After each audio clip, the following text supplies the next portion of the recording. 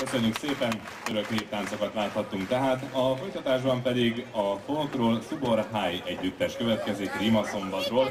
A High népi együttes Gömör vidékéről meríti táncainak témáját, főleg a Dél-Szlovákiában élő szlovákok szokásait ábrázolják, Kokava, Lenocs, Helpa és vidéke szokásait mutatják be, mint például a szénagyűjtés, legeltetés, regrutatánc és betyártánc is lesz a repertoárban.